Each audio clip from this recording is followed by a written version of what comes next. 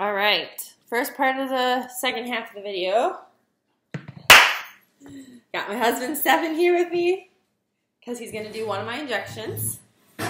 So, the protocol that I was given was 0.8 milliliters of Lupron, which was given to me at the doctor's office already pre-filled, so I don't have to mix anything for that one. But it's just, it's like this. So I don't know how they determine 0.8 milliliters, but yeah. So I'm going to do that one. I don't do that one. You don't want to do this one. Why? You don't like doing these. Geez, I have pricked every spot today, so I don't really have a lot of spots left. I did this one, this one, this one, and that, and then my Ganirelix in the morning. I can't see it. So, let's see. How about, well, this chunk. Let's try that. I have no idea what this one's going to feel like even. Hopefully it's not bad. You should do this one. Huh? You should do this one. Yeah, right? I'm going to. Okay. All right, so that's clean. No,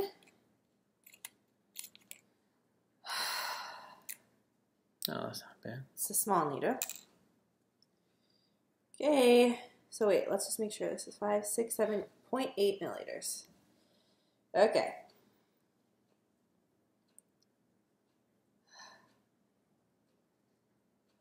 I'm nervous because I don't know what it's gonna feel like. It won't. It won't be bad. Three, two, one. Easy. Okay, so far it doesn't burn that bad. Just a little bit of burning. And it's all in. Go.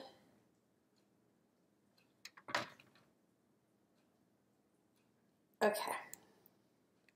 So that one wasn't bad. Hmm. It doesn't look like it's gonna bleed. Okay, that one's done. So recap it. I think I have room in this sharps container. Okay. So that was the Lupron. That's part of the that's part of the trigger shot. This is Pregnyl. I was given 10,000 units, but they told me I'm only supposed to do 5,000 units because I'm doing a dual trigger. So, this is an 18 gauge mixing needle. This is a 22 gauge injection needle. So that's going to be fun. Okay, so from from what I read, the phone doesn't die during this. From what I read, okay, medication dose if it's 5,000 units of HCG, you have to draw or you and you have a 10,000 unit vial, which I do. Uh, you do 2 cc or 2 ml, whatever, of water using the 3 milliliter um, 18 gauge one and a half. Okay, so I'm going to take this off. Right. I'm glad I don't have to do that inside my butt. Right. That would be terrible. Okay, I'm going to. Can you go get me some more alcohol pads? Um, I'm going to take this and wipe it off because I always was taught to do it that way. One or two. Two. I'm gonna. I'm gonna do that for both my vials here.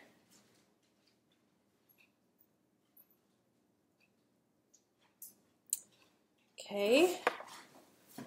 I'm going to stick in the 18 gauge needle after I fill this with 2 cc's of fluid. I hope I'm doing this right.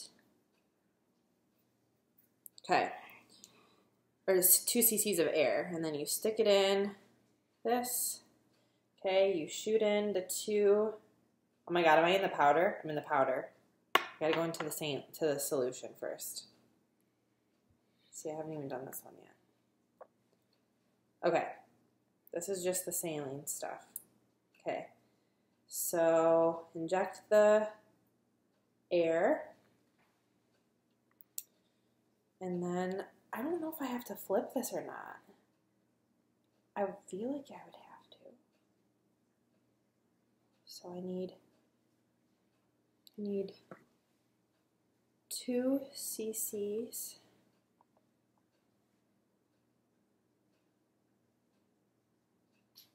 Okay, so I've got two cc's. Okay, I'm gonna pull this out. Okay, so confirm that's two, right? Hmm. Two. Okay, then it says only medication has um into the powder vial. Okay, so this is the powder. So I'm gonna stick this back in, and I'm going to mix this up.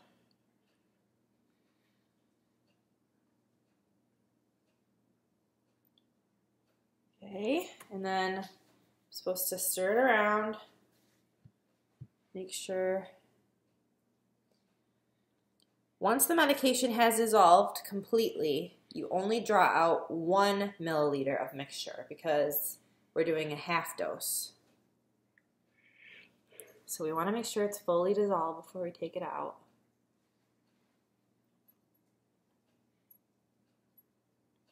It looks pretty dissolved. What do you think? Yeah. I don't see any chunks in there. good. Okay, so then you flip it, I believe. Yeah, you have to. I'm going to pull this a little down so that this part that draws up the fluid is at the tip. And I'm going to pull out Just one. only one. Make sure I don't spill any of this. One. I think I'm. Oop. No. This is going to be Maybe you don't flip it. Well, I, I have to because I need this needle to be in, a, It's a pretty long in needle. the though. fluid. Are you not? Are you supposed to draw with that one or no? No, I'm supposed to draw everything with this one and then switch the needle. Okay, let's see. How much is that? I need to pull a little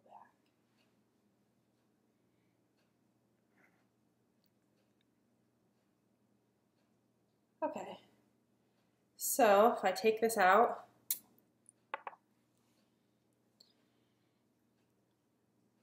That's one. Yep.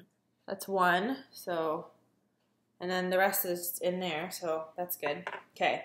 So now we recap this and we screw this one off. And now we're done with that.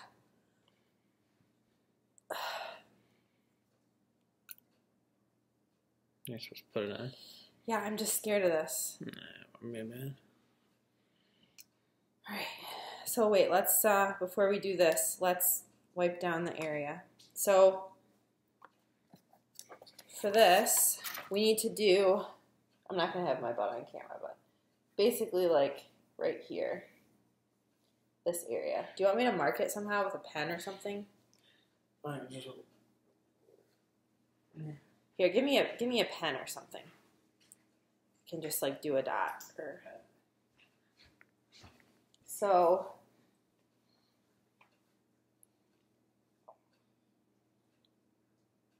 And when you do this one, you spread the skin. You don't pinch it. You spread it. So Yeah, great. Great, you grabbed me a pen that doesn't work. That's nice. Here, I'll do a red dot. Sharpie. It's fine. It'll come off tomorrow. Okay. Should be fine. Just clean it, you know. Clean that. I have to wipe this with alcohol though, so that might Oh, come yeah. off a little. That's right. It's not really though. Not really. Still. Huh? So don't actually inject right into that dot. Just go like next to it or something, All right. because I don't want Sharpie to go into my body. Yeah, I guess. Oh, I'm scared. Didn't we do this one already? This is a longer needle. Yeah, but like Okay. So, do you want me to pull it like this? How do I take it off? Just pull it. You just pull it. Here, let me make sure a little bit of fluid comes through that little.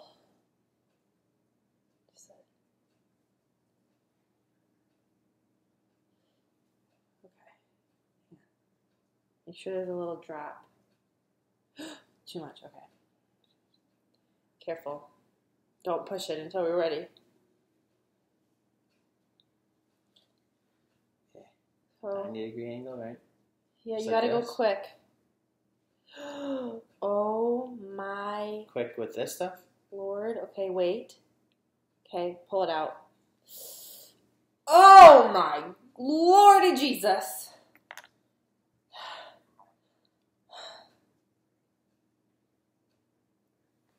All right.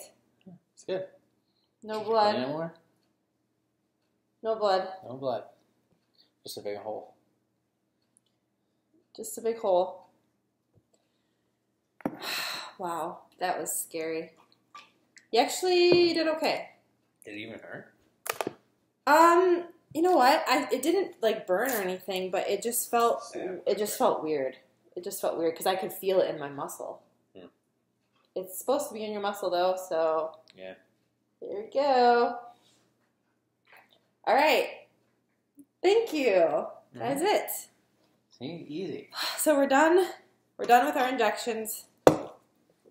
I already did my my doctor surprisingly actually asked me to do the Gonal F uh, 75 units or I'm sorry 150 units and the um, 75 units of Menopur again today. So I had to do that again.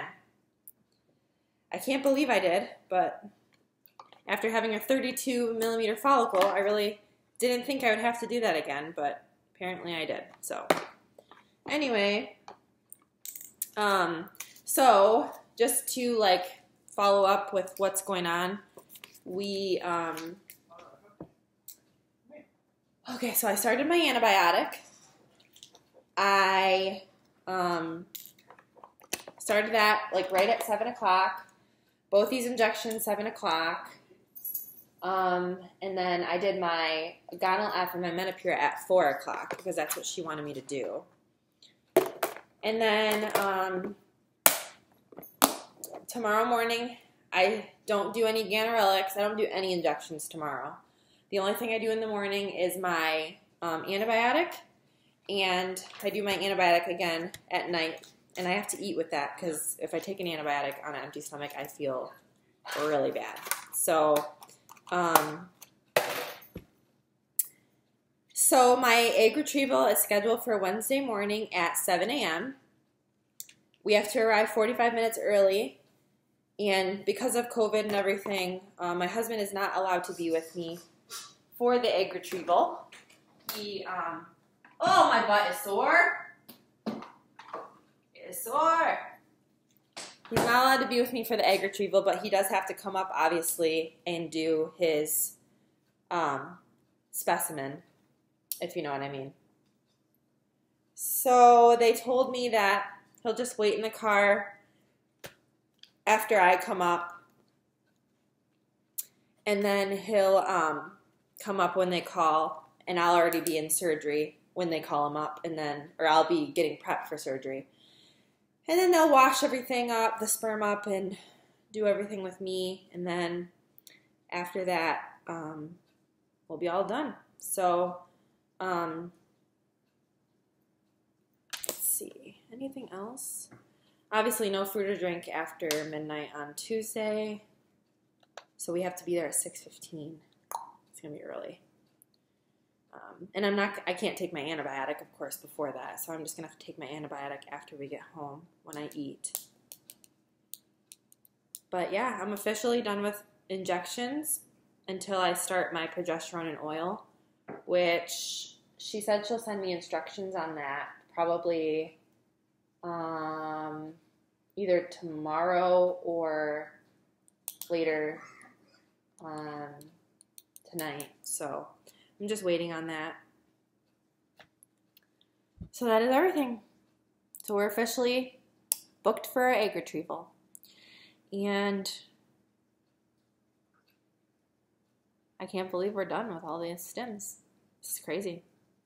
So anyway, I'm going to post this video and then um, I won't upload another video until after my egg retrieval on Wednesday. I'll let you guys know how it went. I might wait until Thursday just depending on how I feel and um, just to see if maybe I want to wait to see like what our results are as far as our fertilization rate. And um, I did get some pregnancy tests today. I know I'm not supposed to take these like when I go for my um, egg, or I'm sorry, my transfer. They want you to wait till till you get blood work to confirm everything, but I know myself, and I don't think I'm gonna be able to wait that long. So I bought two packs. And also, just if I do get pregnant, I like to do like the little progression things while I'm waiting for like my blood work and stuff. So I haven't bought pregnancy tests in a long time because I just used like the cheap, um, the cheap little ones from Amazon because I'm just like I got I was spending so much money on these, and then after a year of trying to get pregnant, I was like, yeah, we're not going to use any more of those. We're just going to use the cheap ones. So. All right, so I'll have a video on Wednesday or Thursday with an update on how the egg retrieval went. Um, I feel right now I feel okay. We'll see in a few hours um, if I feel anything after taking this um, trigger shot. Hopefully I won't, but I don't know. So see you guys on Wednesday.